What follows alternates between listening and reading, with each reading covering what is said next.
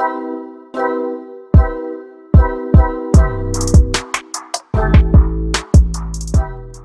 lagi di reaksi ada aku bagus.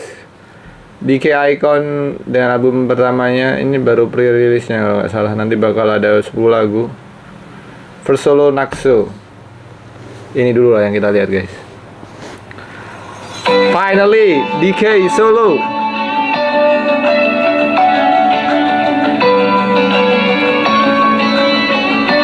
Dia tuh berbakat banget bro. Dari zaman awal aku udah mengiris suaranya soalnya beda identik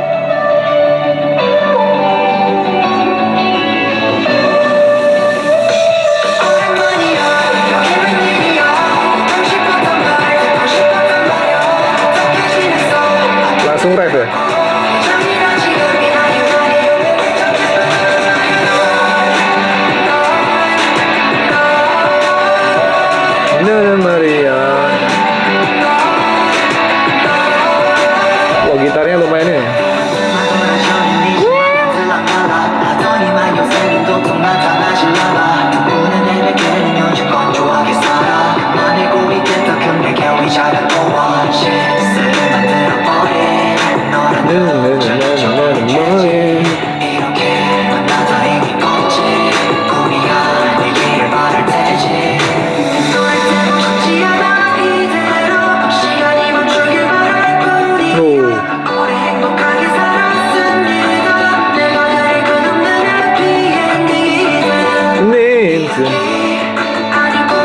kupu-kupu banyak kupu-kupu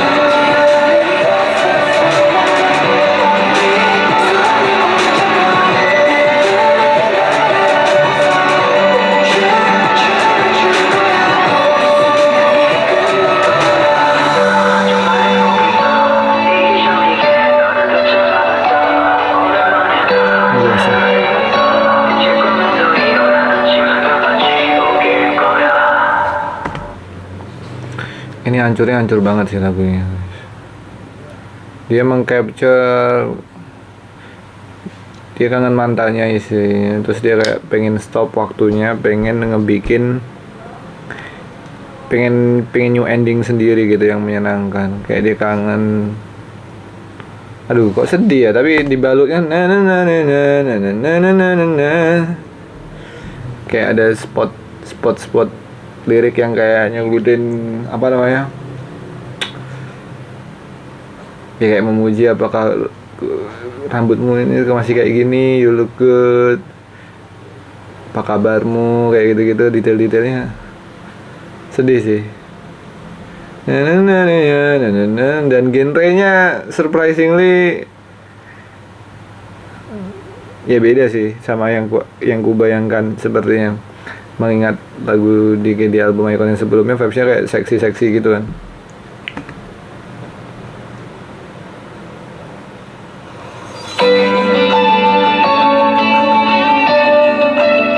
lagu band banget sih tapi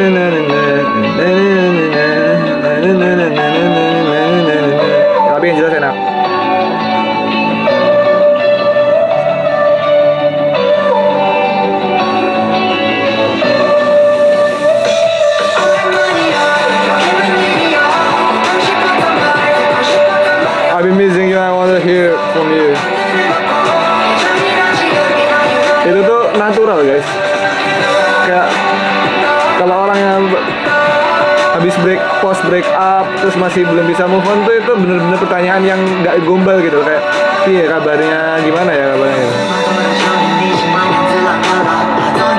Itu nggak lebay sih. Emang real pasti kayak kepikirannya kayak gitu kalau lagi orang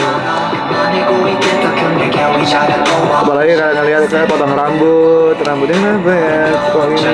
Terus kayak ikut kepikiran sendiri. Galau habis